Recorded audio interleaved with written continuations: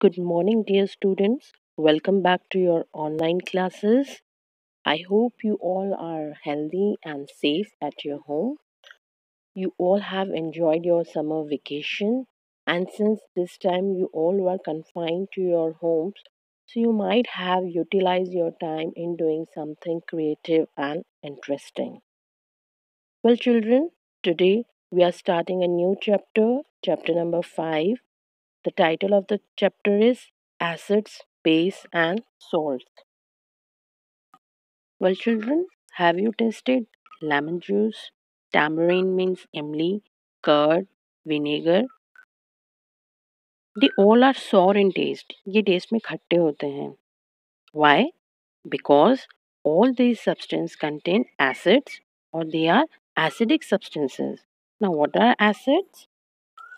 Any substance which when dissolved into the water produces hydrogen ions वो सारे substances जिन्हें हम पानी में जब dissolve करते हैं तो वो क्या produce करते हैं hydrogen ions and what are bases bases are all those substances which when we dissolve into the water produces hydroxide ions hydroxide ions क्या होते हैं OH minus ions and hydrogen ions क्या होते हैं H plus ion तो acids तो H plus ions release करते हैं वाटर में वेर इज़ बेस क्या करते हैं? They release O H minus ions and base क्या होते हैं? ये सब्सटेंस जो है they are bitter in taste ये टेस्ट में कड़वे होते हैं एंड सोपी टू टच और ये स्लिपरी होते हैं, जैसे सोप होता है लाइक like दैट उसी की तरह स्लिपरी होते हैं when we touch them The acids which occur in fruits and vegetables are called naturally occurring acids. और ये जो naturally occurring acids हैं हम उन्हें weak acids भी कहते हैं These acids are also called organic acids. So whether we call them naturally occurring acids or weak acids or organic acids, they all are one and the same thing. एक ही के तीन अलग अलग names हैं The acids obtained from minerals are called mineral acids. वो सारे acids जो हमें minerals से मिलते हैं they are mineral acids. They are also called inorganic acids. mineral acids बोलिए या फिर inorganic acids बोलिए mineral acids they are very strong acids इनके examples हैं sulfuric acid hydrochloric acid nitric acid phosphoric Mineral acids are very important from the industrial point of view. हम इन्हें use करते हैं in manufacture of fertilisers industrial chemicals explosives, dyes, and pigments. Now, what are concentrated acids and what are dilute acids? Well, children, all acids are solution of acidic gases in water. जितने भी acids हैं, ये क्या हैं? ये solution है acidic gases का water में। हमने एसिडिक गैसेस को वाटर में मिक्स किया है और हमने एसिड को फॉर्म किया है। तो सारे सॉल्यूशन जिनमें की जो एसिड गैस की कॉन्सेंट्रेशन है, मीन्स जो एसिड गैस की क्वांटिटी है, अगर वो मैक्सिमम है, as compare to water, we call it as concentrated acid. And the definition is A solution containing the maximum amount of the acidic gas is called concentrated acid.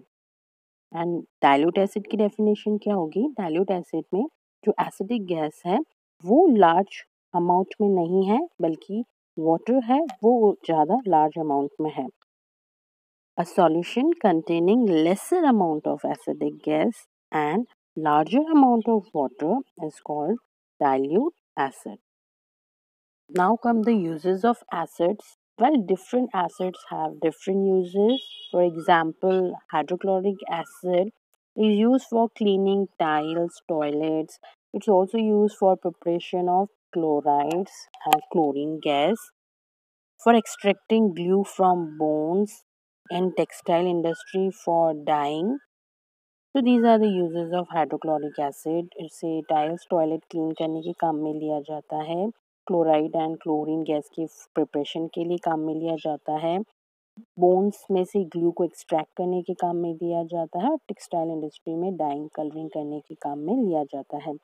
Next acid is nitric acid it is use for preparing fertilizers explosive dyes and drugs इसे जो fertilisers हम use करते हैं agriculture में, उसकी preparation में explosive means जो explosive substance होता है जो धमाके करते हैं, उन सब, उनकी प्रिपरेशन में।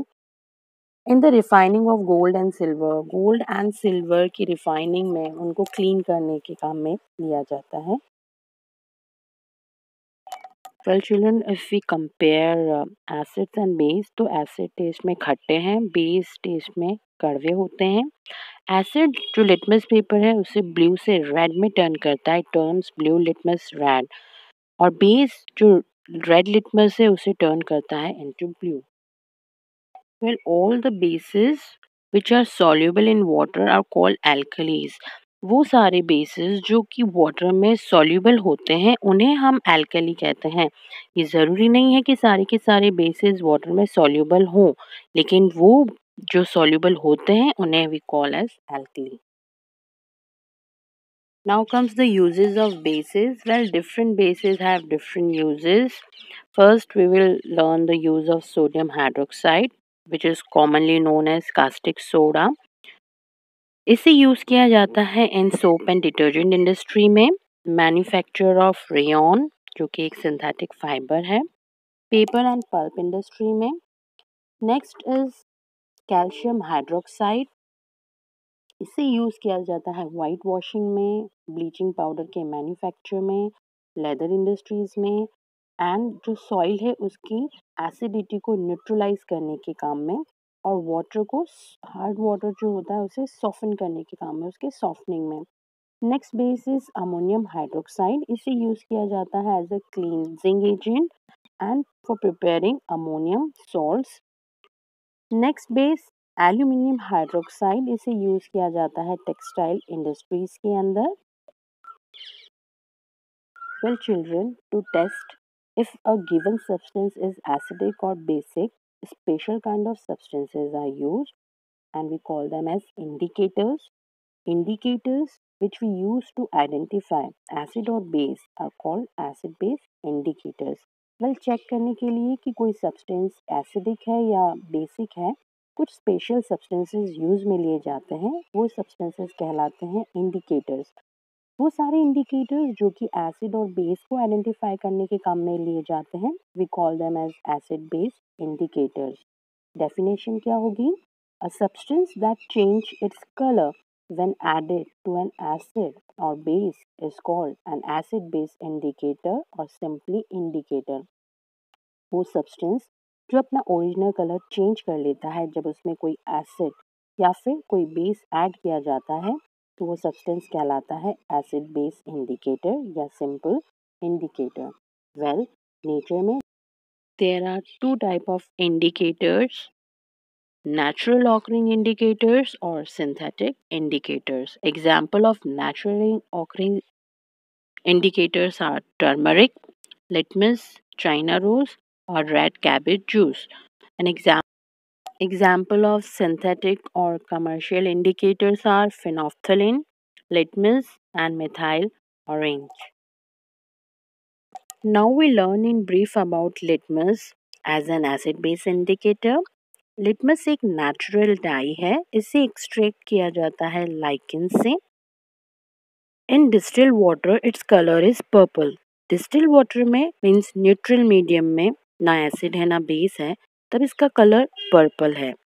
एसिडिक सॉल्यूशन में इसका कलर चेंज हो जाता है रेड में, एंड बेसिक सॉल्यूशन में इसका कलर चेंज हो जाता है ब्लू में। ब्लू में लिटमस अवेलेबल होता है in the form of solution and also in the form of strips of paper, या तो सॉल्यूशन के फॉर्म में या फिर पेपर स्ट्रिप्स के फॉर्म में। We, and we call those paper strips as litmus paper.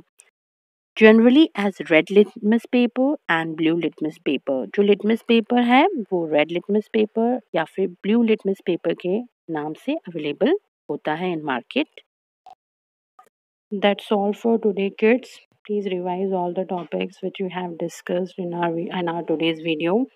Now, children comes your social responsibility. You need to be at home. You need to stay safe. You need to stay healthy. You have to maintain social distancing, eat healthy diet, drink lots of water, do exercise, stay safe, healthy, fit and fine. Thank you for watching.